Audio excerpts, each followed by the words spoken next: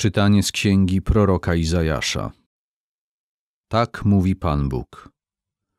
Czyż nie w krótkim już czasie Liban zamieni się w ogród, a ogród za bór zostanie uznany? W ów dzień głusi usłyszą słowa księgi, a oczy niewidomych, wolne od mroku i od ciemności, będą widziały. Pokorni wzmogą swą radość w Panu i najubożsi rozweselą się w świętym Izraela. Bo nie stanie ciemięscy, z szydercą koniec będzie.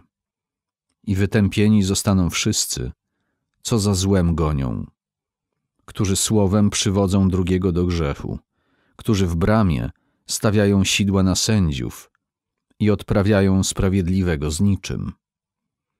Dlatego tak mówi Pan, Bóg domu Jakuba, który odkupił Abrahama.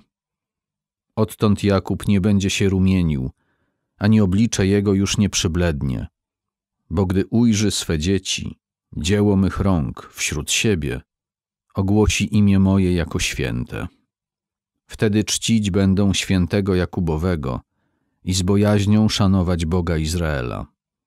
Dusze zbłąkane poznają mądrość, a szemrzący otrzymają pouczenie.